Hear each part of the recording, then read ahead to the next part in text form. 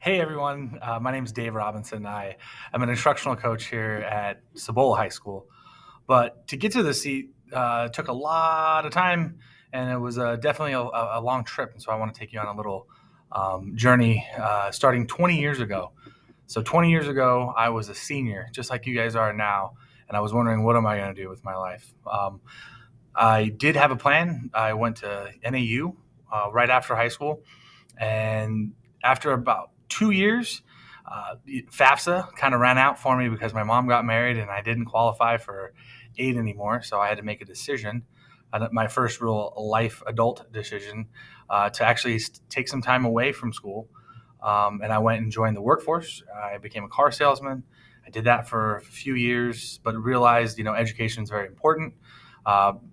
I realized that from the the encouragement that I ga- ga- gained, excuse me, from my parents and my loved ones that were in edu- in education, and I always vowed I would never be a teacher. I would never be anything to do with education. I was going to be a salesman my whole life. But I came back home uh, to get more of a steady um, uh, retirement uh, gig. So I uh, uh, I actually fell in love with coaching baseball. So they there was an opening at Yuma High um, for a JV baseball coach, and so uh, my dad asked me to help out. He was the one of the assistants, and so I did, and I fell in love with coaching, and then that led to trying out some subbing, and I fell in love with you know teaching and getting an education. So I finished my education and got my bachelor's uh, here from NAU Yuma um, in psychology, and then I moved forward in my career. Um, got on with Gila Ridge as a bio teacher.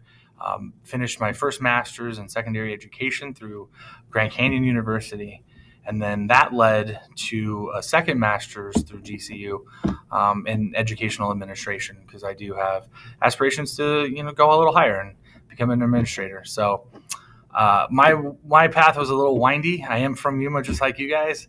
I was a criminal. I was I'm a, I was a hawk. I'm a raider now. I've taught at every single school, whether it was being a sub or full time, and I just love Yuma Union. So hope you guys get out there, choose something uh, that you're passionate about, have fun. Uh, we'd love to have you guys back here um, in a few years uh, to join our workforce. Uh, but if you don't, that's great. You guys are going to do amazing things. Uh, just know, get out there and have fun. All right, it's always a great day to be a raider or a criminal or a king or a sidewinder or what am I missing? A hawk or a lobo. Basically, Yuma Union High School District. This is the place to be.